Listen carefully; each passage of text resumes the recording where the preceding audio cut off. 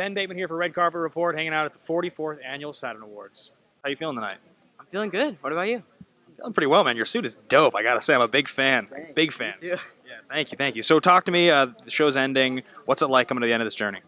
Um, I mean, it was just great, you know, seeing the character grow, um, and you know, just seeing how much you know the writers cared about this one character, um, and seeing how much they put into it. Uh, and I just, I just love the storyline they came up with, um, and it was really great to see him get the ending, you know, we really wanted. Yeah.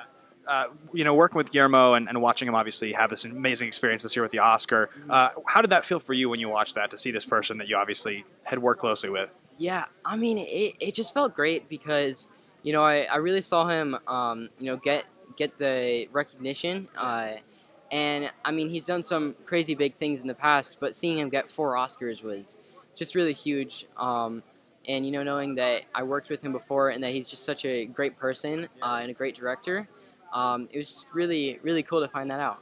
If you could describe your experience working with him in one word, what would it be? Ah, ooh, my experience working with him would have to be just awesome. Yeah. Uh, yeah, incredible. Hey, congratulations on your nomination, man. It's great to meet you.